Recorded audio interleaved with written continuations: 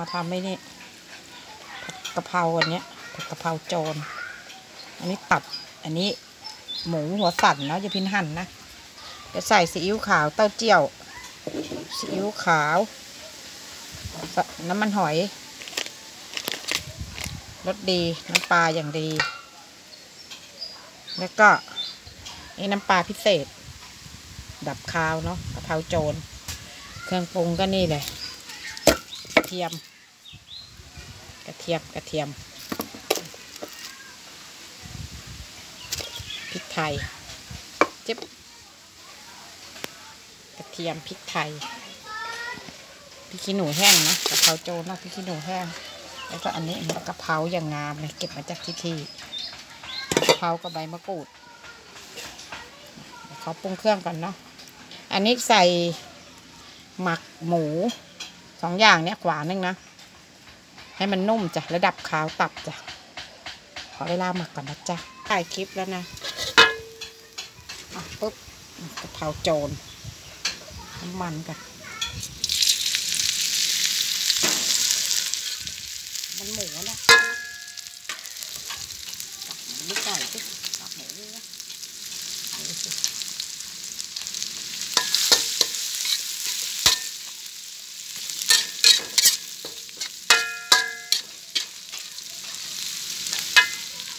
สิใส่กระเทียมเยอะๆพริกขี้หนูแห้งเยอะๆตัดกับเนื้อหมูหมักนะไม่มีผักนะไม่ใส่ถั่วฝักยาวใส่อะไรนะอีกนะนี่สำลักแล้วเห็นกึบคาตาบูดไปแค่นี้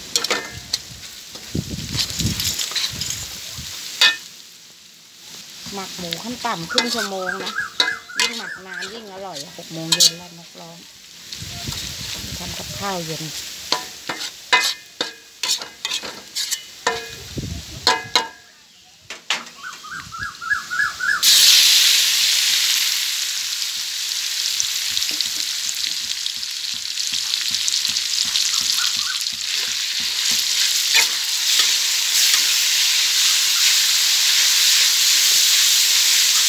อบใส่อะไรชอบกินอะไรก็ใส่ลงไปเลย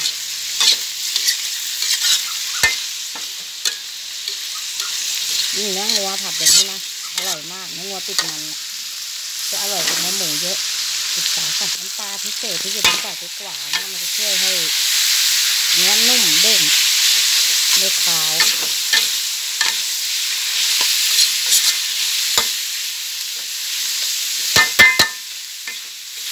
นี่แผลตาแผลจมูกก็บดเลยกันด้วย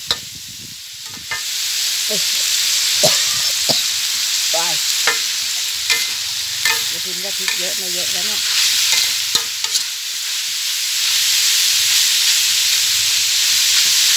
พริกน้อยไปหน่อย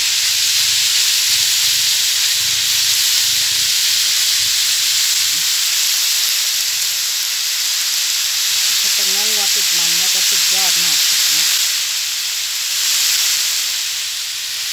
ส่ว นี้ก็เนื้อหัวสันเนื้อหัวสันมันจะนิ่มนุ่มเด้งได้ก็ได้จะกิบไอ้ว่าสาดไม่เอาเผ็ดไม่เอาเผ็ดก็ยังจะเผ็ดอยู่แน่กับนี้ละ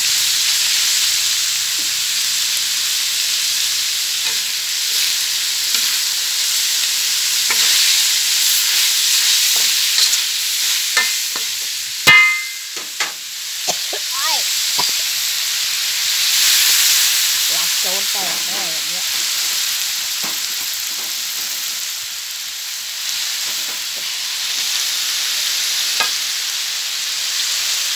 ได้จะจามก็ไม่จามเออข้างบ้านจามแล้ว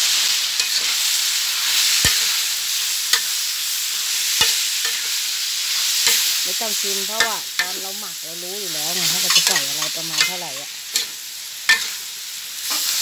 ไม่ใส่น้ำใส่อะไรเพิ่มเขาเนี่ยนิดน้อยไปหน่อยแล้วก็คั่วจนมันแห้ง คนข้างบ้านจามเนี่ย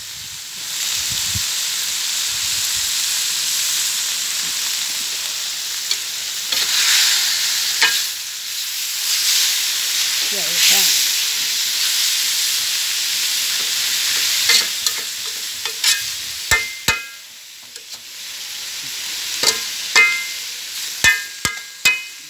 มนูสิ้นคิดผัดกะเพราเป็นอาหารที่ง่ายที่สุดจ้ะเพื่อนๆลองดูได้นะหมักก่อนแล้วถึงผัดจ้ะจะได้รสชาติไม่ต้องสับนะขาบอกว่าเนื้องัวจะอร่อยกว่าเนื้อหมูจ้ะ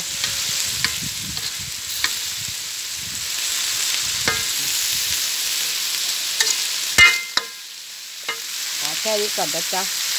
ไว้